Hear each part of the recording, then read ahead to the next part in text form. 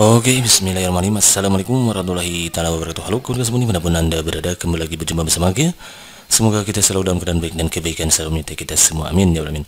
Oke kan kawan, alhamdulillah kembali lagi Maki berkesempatan untuk berbagi soal-soal SKB CPNS di mana soal ini sedang kita persiapkan untuk menghadapi SKB CPNS yang sedang berlangsung selama dua hari ini. Untuk kawan-kawan yang sudah mengikutinya, Maki ucapkan selamat dan dan jangan lupa tetap berdoa. Mudah-mudahan nanti kawan-kawan mendapat hasil yang terbaik. Dan untuk kawan-kawan yang akan menghadapinya sekarang ataupun hari esok maupun yang akan mendatang Maki ucapkan selamat berjuang dan juga tidak lupa untuk kawan-kawan tetap terus berdoa kepada Allah SWT biar Allah berikan yang terbaiknya untuk kita semua. Oke kawan-kawan, dalam kesempatan kali ini Maki akan membahas FR yang berdarah sebagaimana sudah dijanjikan Maki di video sebelumnya bahwa Maki akan terus update untuk soal-soal yang yang berdasarkan FR berdarah saat ini gitu ya terkait dengan soal pedagogik yang banyak itu kawan-kawan ya. Dan pada pertemuan kali ini Maki akan fokus di penyusunan RPP karena RPP katanya banyak sekali muncul. Karena ya tidak menutup kemungkinan untuk guru ya soal pedagogik ini pasti banyak muncul. Karena diharapkan nantinya guru bisa membuat dan melengkapi administrasinya. Karena salah guru salah seorang guru yang baik itu adalah mampu merencanakan gitu kawan-kawan ya. Karena tugas guru itu kan merencanakan melaksanakan dan mengevaluasi itu kawan-kawan ini tentang RPP. Sebetulnya ini sudah Maki bahas, namun pada kesempatan kali ini Maki hanya ingin memberikan melengkapi saja jawaban tersebut. Di video sebelumnya sudah Maki bahas silahkan kawan-kawan cek lagi gitu ya. Jadi ini sebetulnya FR soal yang berkaitan dengan FR SKB untuk pedagogik RPP ini sudah Maki buatkan pembahasannya. Dan kali ini adalah hanya untuk menanggapi beberapa pertanyaan yang datang dari kawan-kawan kita. Mudah-mudahan apa yang Maki berikan apa yang bisa kita sampaikan bisa bermanfaat untuk kawan-kawan semua Oke, sebelum lanjut ke lebih sebelum lebih jauh, kita Maki akan menyapa dulu beberapa kawan-kawan yang meninggalkan pertanyaannya. Ini dia dari Mbak Mona Puri Pesmaki. Ya terima kasih. Semoga lulus SKP PGSD tahun ini dan mendapatkan NIP. Amin ya Allah amin. Selamat berjuang Mbak. Pokoknya selamat belajar. Temannya terus memperbanyak latihan terutama di pedagogiknya gitu ya untuk SKP PGSD itu. Soal SKB pengujian kendaraan motor dong Mang? Insya Allah kalau ada ya. Untuk sementara belum mendapat baru mendapatkannya. Kalau ada Insya Allah Mang buatkan gitu Kemudian dari Bang Chandra Utari, Assalamualaikum Mang Punten. Minta FR Guru Seni Budaya Mang, nuhun. Salam dari Lombok. Wah, Lombok. Kalau Lombok, salam kenal dari Maki ya. Untuk FR Guru Seni juga Maki belum mendapatkannya. Mungkin nanti kalau sudah mendapatkannya ada ide lagi kemudian Maki buatkan. Tapi yang terpenting adalah untuk kawan-kawan banyak latihan pedagogik aja kawan-kawan ya karena tidak menutup kemungkinan nanti untuk guru-guru semacam ini kecuali guru matematika ataupun IPA nanti banyak muncul soalnya pedagogik gitu. Kemudian soalnya soal SKB profesionalnya diintegrasikan ke pedagogik gitu. Kalau Mbak Lilis ini langganan. Halo Mbak Lilis. Salah selamat uh, belajar aja gitu ya. Ini Mbak Lilis langganan. Oke memang nomor 4 saya masih rada bingung. Nah ini dia.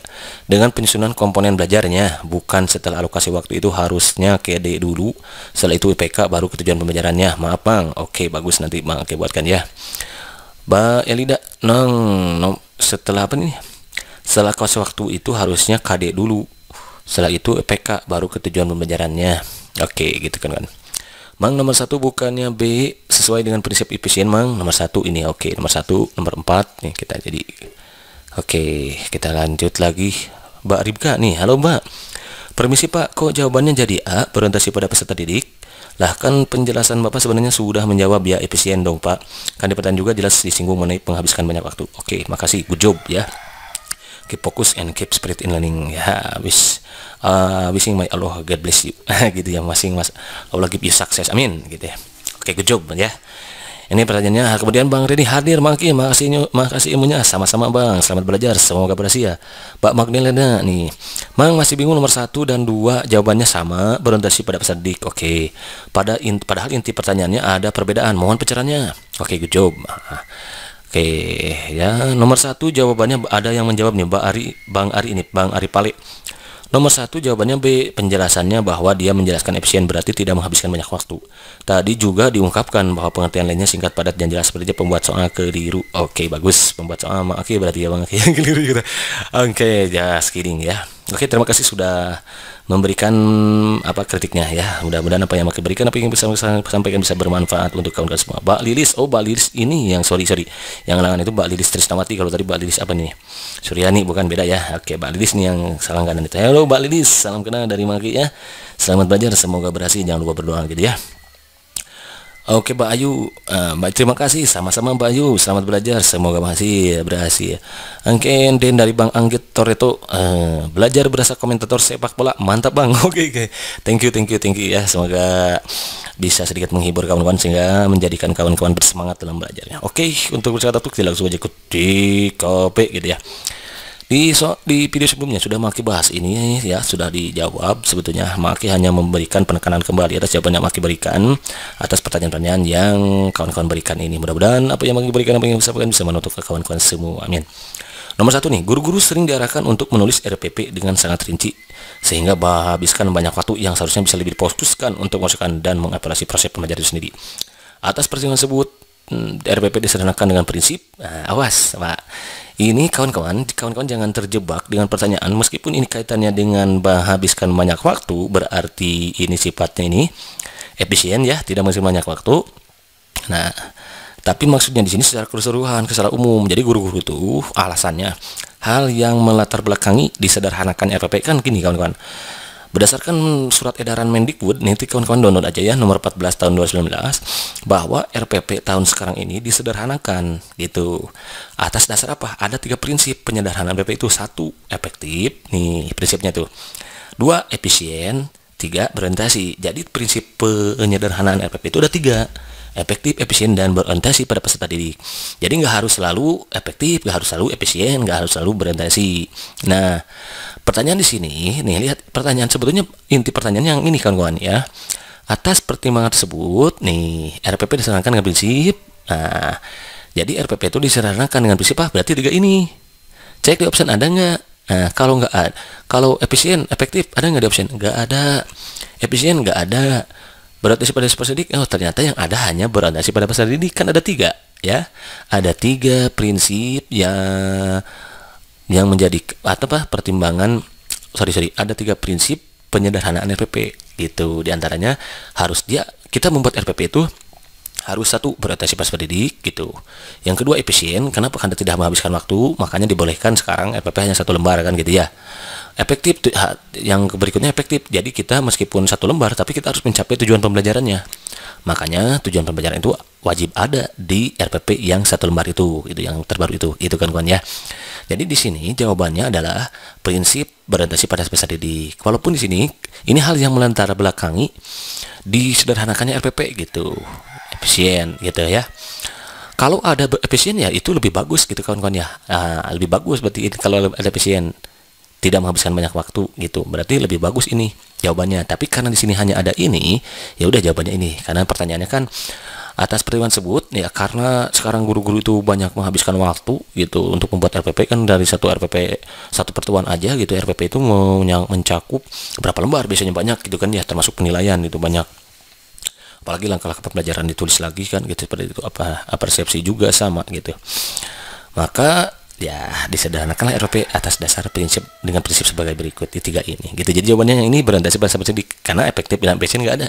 Kalau ada efektif sama efisien ya berarti jawabannya itu gitu kan kan ya. Ansen inap inap jadi jadi mantap. Kalau mantap next soal nomor 2 nih nomor 2 gini.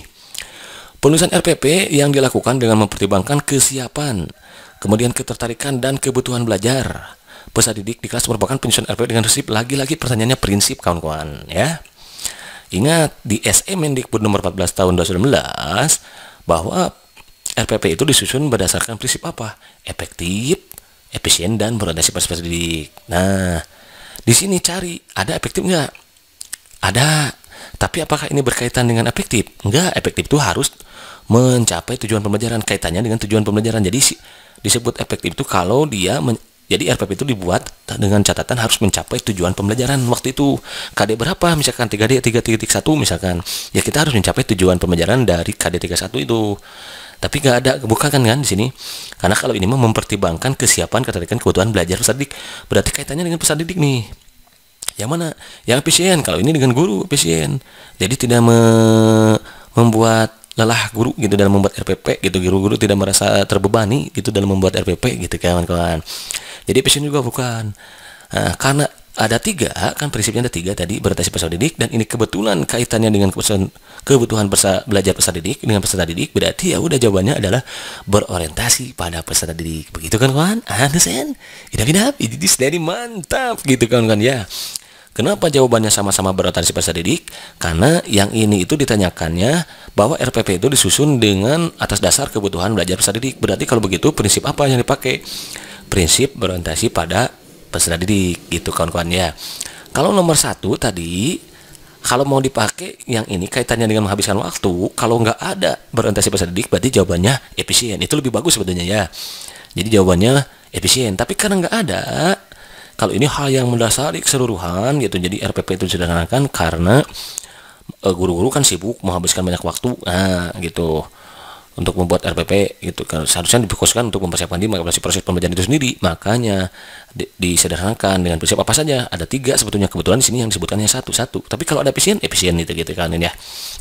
Gitu. Sama dengan ini gitu kan. Kalau ini jelas ya. Kalau ini jelas me, pertanyaannya mengarah kepada definisi tiga prinsip ini. Efektif itu apa efisien itu apa berorientasi itu apa. Tapi kalau tadi hal yang melatar belakanginya itu adalah menghabiskan waktu guru gitu. Makanya kan efisien gak ada ya jauh besar dedik gitu karena ada tiga prinsip itu. Begitu kan man enough enough enough the next uh, number three. Oke. Okay. Berikut adalah komponen inti dalam penyusunan RPP sesuai surat edaran Mendikbud nomor 14 tahun 2011. Oke nih, yang ditanyakan adalah komponen inti dalam penyusunan RPP tapi sesuai SE Mendikbud nomor 14 tahun 11. Oke, ini. Di SE tersebut bahwa komponen RPP yang dulunya itu ada 13 kalau nggak salah. 13 komponen. Ini ada di Permendikbud nomor 22 tahun 2016. Kawan-kawan download aja di sana ya. Jadi kalau kawan-kawan ingin menguasai RPP, maka kawan-kawan kuasai SE ini sama Permendikbud di nomor 22 tahun 2016. Di sana ada komponen-komponennya termasuk prinsipnya juga eh, pada prinsip pembuatan RPP berdasarkan Permendikbud nomor 22 tahun 2016 kalau tadi kan berdasarkan SK itu ada tiga ya nah kalau komponennya di SE ini ada ada tiga juga. Tapi kalau di Permendikbud nomor 22 tahun 2016 ada 13 salah satunya apa saja? Satu komponennya itu adalah tujuan pembelajaran. Harus ada tujuan pembelajaran. Jadi di RPP itu kita buat harus ada tujuan pembelajaran. Yang kedua yang harus ada itu wajib ada itu adalah langkah-langkah pembelajaran. Nah, dan yang ketiga harus ada penilaian. Nah, itu di komponen inti dalam penyusunan RPP sesuai SE Mendikbud nomor 14 tahun 2019 itu men, Pak kalau nggak salah ini Pak Nadiem Makarim kalau nggak salah ya Mendikbudnya ini. Kalau kompetensi nggak harus ada, kompetensi dasar nggak ada, model nggak ada, metode ada. Jadi harus ada di sini penilaian yang tiga itu. Gitu kan, Wan? Understand? Idam-idam, jadi mantap kalau mantap. Next, soal number 4 nih. Nomor 4. Berikut merupakan komponen RPP sebelum adanya surat edaran. Nah, kalau sebelum adanya surat edaran Permendikbud nomor 14 tahun 2019, itu di antaranya ada di Permendikbud nomor 22 tahun 2015. Tadi ada yang bertanya, kenapa Mang katanya apa tadi ya? Setelah aku kasih waktu ini harus ini dulu. Nah, Mang ini sebetulnya mengacu kepada ini dia. Kalau nggak salah, ada nggak sini? Oh nggak ada ya? Oh nggak ada. Oke, okay, sorry sorry. Pokoknya nanti hmm, Mbak siapa tadi yang nanya? Itu Mbak lihat aja di Permendikbud nomor 12 tahun 2015 di sana ada urutan pembuatan RPP gitu ya dimulai dari yang betul itu kan yang A identitas mata pelajaran kemudian identitas sekolah identitas mata pelajaran kelas semester materi pokok alokasi waktu tujuan tujuan setelah KD tujuan dulu baru KD IPK materi pelajaran metode media pembelajaran nomor belajar langkah-langkah penilaian. Itu ada di Permendikbud nomor 22 tahun 2016. Jadi Imam Hakim menjawab ini atas dasar Permendikbud nomor 22 tahun 2016. Gitu kawan-kawan ya. Dan kebetulan ini semua sama. Semua sama berarti si pembuat soal mengharapkan penyusunan RPP-nya seperti ini. Nah, hanya yang lain itu yang ada yang dihilangkan beberapa kayak ini nih. Setelah KD nggak ada IPK, makanya di sini salahnya gitu ya. Se ini setelah identitas mata pelajaran nggak ada kelas harusnya ada kelas. Berarti ini salah di sini tuh sudah kasih tanda tuh. Setelah metode harusnya ada media. Ini langsung ke sumber. Jadi salah ini. Identitas mata pelajaran kemudian yang salahnya di sini. Sebelum langkah-langkah harusnya ada sumber belajar. Di sini nggak ada. Nah, makanya maki pilih nomor satu. Dan ini pun sesuai dengan Permendikbud nomor 22 tahun 2016 jadi ingat identitas sekolah identitas mata pelajaran kelas semester materi pokok alokasi waktu, tujuan pembelajaran KD atau IPK, materi pembelajaran, metode, media, sumber belajar, dan penilaian. Nah, kalau di SE ini yang wajib ada itu adalah penilaian di antaranya langkah-langkah dan tujuan tiga ini satu dua tiga gitu ya Understand? Minum-minum. Jadi ini mantap, mantap. Next soal adalah number ya, soal yang terakhir. Berikut merupakan prinsip pembuatan RPP berdasarkan Permendikbud nomor 20 tahun 2016 kecuali bla bla bla awas. Yang ditanyakan kecuali kalau sebelumnya itu kita belajar prinsip pembuatan RPP berdasarkan SE nomor 14 tahun 2019 itu Mendikbud hanya ada tiga itu efektif, efisien dan berinteraksi peserta didik efektif dia harus mencapai tujuan efisien kita harus gak boleh menghabiskan banyak waktu gurunya gak boleh terbebani. Kemudian kalau berorientasi peserta didik ya harus berorientasi pada peserta didik sesuai kebutuhan peserta didik gitu bakat minatnya. Kalau di Permendikbud nomor 22 tahun 2016 itu bukan seperti itu. Nanti kawan-kawan download ESE nya nih dia dalam penyusunan RPP hendaknya memperhatikan prinsip-prinsip di nih Permendikbud nomor 12 tahun 2016 ada satu Prinsipnya perbedaan individu peserta didik antara lain kemampuan awal, tingkat yang tinggi, bakat, potensi, minat, motivasi belajar, kemampuan sosial, emosi, gaya belajar, kebutuhan khusus dan lain sebagainya tinggal dibaca aja ya. Yang kedua, dia harus ber nih prinsipnya harus memperhatikan partisipasi aktif partisipasi aktif peserta didik prinsipnya. Kemudian harus berpusat pada peserta didik sama ya, masih dipakai ini dengan SE nomor 14 tahun 2019 berarti pakai apa namanya berpusat pada peserta itu berorientasi pada peserta didik. Kemudian pengembangan budaya memba pengembangan budaya membaca dan menulis. Ya makanya ada dulu kan kemarin itu GLS gerakan literasi sekolah. Makanya uh, beberapa waktu yang lalu pernah diwajibkan kalau nggak salah itu di sekolah itu dimulai dengan membaca terlebih dahulu gitu kan kawan ya beberapa peserta didik dan juga untuk membaca budaya literasi ini kita menghidupkan budaya literasi. Makanya ada lima pendekatan 5M itu saintifik mengamati kalau salah itu ya pendekatan saintifik mengamati kemudian apalagi mengumpulkan data gitu kan ya mengasosiasi dan seterusnya gitu kan kan insya Allah nanti mengakibatkan lagi video-video yang lebih hot lagi tentang ini gitu ya kemudian pemberian umpan balik dan tindak lanjut RPP harus ada umpan baliknya jadi nggak boleh nggak ada umpan balik kemudian nggak ada tindak lanjut RPP hmm. Pekanan pada keterkaitan kepaduan antar KD. Nah, ada keterkaitan dan kepaduan antar KD mat dengan materi. Itu nggak boleh KD-nya misalkan tentang uh, tentang misalkan kalau bahasa Indonesia misalkan kata baku kemudian materinya misalkan tentang eh, ide pokok. Nggak nyambung itu jaka. Semua makan syukur nggak nyambung. Bro gitu ya yang kayak mengapadasi pembelajaran tematik terpadu? Oke okay, dan penerapan teknologi dan komunikasi sesuai tinggal sistematis oke okay, harus memanfaatkan teknologi gitu. Jadi di sini karena ditanyakan kecuali ini perbedaan individual masuk partisipasi aktif peserta masuk berpusat pada peserta didik masuk pengembangan budaya dan baca dua masuk GLS itu. Makanya sekarang ada RPP 4C kalau nggak salah ya. Communication collaboration collaboration apalagi itu uh, connect apa ya maaf lupa lagi itu pokoknya baca lagi efektif, efisien dan berhasil pada peserta didik. Yang nggak boleh itu ini, ini itu karena adanya di SE Mendikbud nomor 14 tahun 2019. Begitu kan kawan ya. Understand? Ya, ini jadi sendiri mantap. Oke kawan-kawan barangkali saja dulu bisa diberikan kesempatan ini mudah-mudahan bermanfaat. Insya Allah kalau ada waktu memungkinkan nanti Maki akan berbuatkan contoh RPP-nya kemudian nanti karena ada beberapa juga yang menyebutkan bahwa ada yang disebut ada yang memper, memperlihatkan soal itu tentang persepsi kemudian motivasi. Nah motivasi itu apa sih? Mempotensi persepsi itu seperti apa sih di RPP itu? Nah nanti kalau ada waktu mungkin kan Maki buatkan video pembelajarannya tentang eh, RPP ya dibuat satu lembar penuh gitu sesuai yang Permendikbud nomor 20 tahun 2019 gitu ya Oke kawan-kawan berkati saja dulu yang berikan ini mudah-mudahan bisa bermanfaat dan sedikit mengatasi kesusahan-kesusahan yang hadapi rekan kawan saat mempersiapkan di rumah di SKB CPNS ini khususnya untuk materi-materi yang berkaitannya dengan soal pedagogik.